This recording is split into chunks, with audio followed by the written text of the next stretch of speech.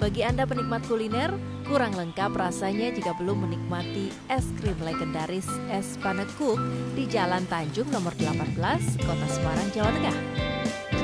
Es Panekuk dikatakan legendaris lantaran warung gado-gado dan es panekuk Pak Yono ini berdiri sejak tahun 1950. Es krim ini menyajikan beragam varian rasa, di antaranya rasa coklat, durian, alpukat, hingga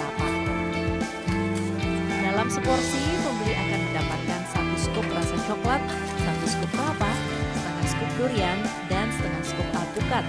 Atau bisa juga sesuai selera pembeli. Sajian tambahannya adalah irisan roti tawar, agar-agar, dan tentunya yang menjadi andalan yakni irisan kue panekuk atau pancake. Adi Mustafa merupakan penerus Yono.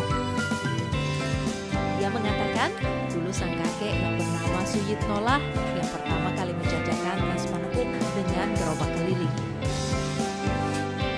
Sejak tahun 1950 dari kakek Terus ke bapaknya terus ke anaknya sekarang. keti- bapaknya ini generasi ketiga. Ini generasi ketiga. rasanya enak rasa banget. Saya pesennya alpukat sama coklat. Rasa banget alpukatnya. coklatnya juga nggak enak. terus ini nih enak apa namanya? Apa ini pancake-nya ya? Pancake. pancake-nya. Pancake. enak dicampur sama es Es panekuk Pak Yono buka setiap hari dari pukul 10 pagi hingga pukul 4 sore. Satu porsi es panekuk dijual dengan harga Rp16.000